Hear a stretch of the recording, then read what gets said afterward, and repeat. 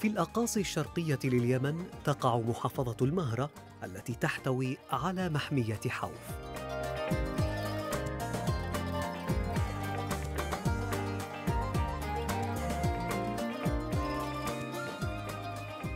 المدينة متاخمة لحدود سلطنة عمان وهي واحدة من خمس محميات يمنية متفرقة في محافظات عدة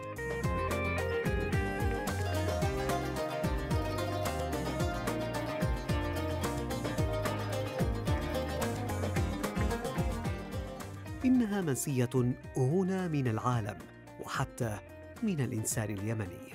تعد حوف أكبر غابة في شبه الجزيرة العربية وكانت قبل الحرب تجذب آلاف السياح من مختلف دول العالم.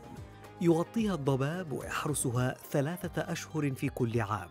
وفي تلك الأثناء من شهر يوليو وحتى سبتمبر تكون المحمية في أجمل أيامها.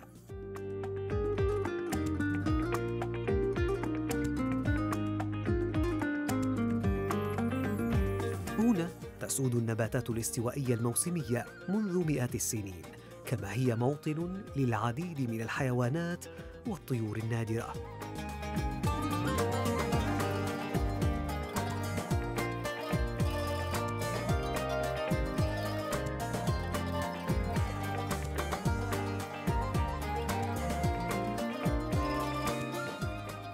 تحاط هذه المحمية بسلسلة جبلية يصل ارتفاعها إلى 1400 متر فوق سطح البحر. تتخللها العديد من الوديان.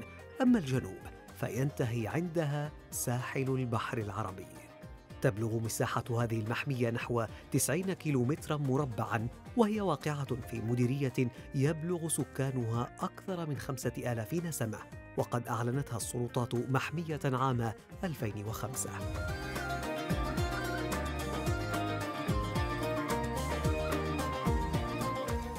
بحسب دراسة أعدها مشروع المحميات الطبيعية في الهيئة العامة لحماية البيئة في اليمن يوجد في المحمية حوالي 250 نوعا من النباتات تنقسم إلى 65 عائلة وإلى 165 جنساً.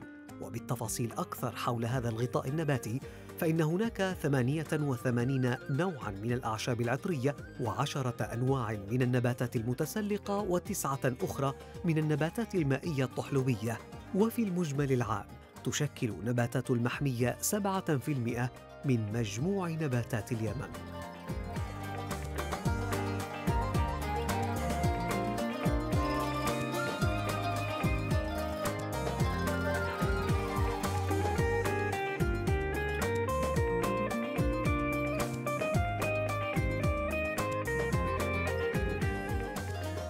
وإذا ما تجولنا في هذه المحمية لمعرفة ما تخبئه من أنواع الحيوانات فإن هناك العديد منها حيث تعيش فيها النمور العربية والضباع والقنافذ والذئاب العربية والثعالب الحمراء والوعول والغزلان ونوع من القطط البرية المتوحشة.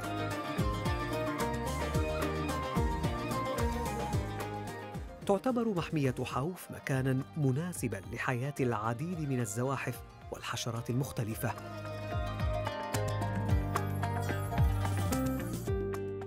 أما البيئة البحرية في حوف فهي الأخرى غنية ومتنوعة. فهنا تعيش الدلافين والسلاحف النادرة والشعاب المرجانية والطيور البحرية كما تعيش في بحارها العديد من أنواع الأسماك.